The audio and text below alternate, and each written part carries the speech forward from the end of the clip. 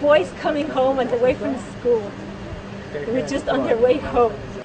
אנחנו מרגישים את החיבוק שלכם כל הזמן, זה נותן לנו המון כוח. זה מחזיק אותנו בימים הקשים האלה, ואנחנו מעבירים את כל האנרגיות החיוביות האלה שלכם, שלכם, לגלעד שלנו.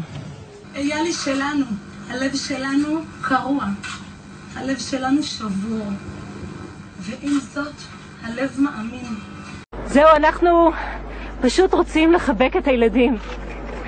אייל, גלעד, נפתלי, אנחנו אוהבים אתכם, אנחנו מתגעגעים אליכם, ואתם תהיו חזקים.